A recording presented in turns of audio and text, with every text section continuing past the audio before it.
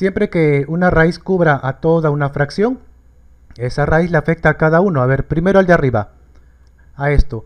Así que busquemos dos números iguales que multiplicados te dé 441. Así se hallan las raíces cuadradas. Probando, por ejemplo, 20 por 20 es 400. Entonces falta, aumentamos a ver a 21. 21 por 21 ahora sí da 441. Por eso todo esto es 21. Ahora, debajo. Ahora que me dé 144. A ver, probamos y fácil, ¿verdad? 12 por 12, 144. Por eso todo esto que está abajo vale 12 nada más. ¿Se puede simplificar o ahí queda? A ver, ¿habrá algún número que lo divida al 21 y al 12 al mismo tiempo? Sí, entre 3, ¿verdad?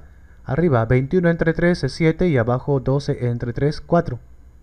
7 y 4 ya no tienen otro número que los divida al mismo tiempo, así que ahí queda, 7 cuartos es el resultado.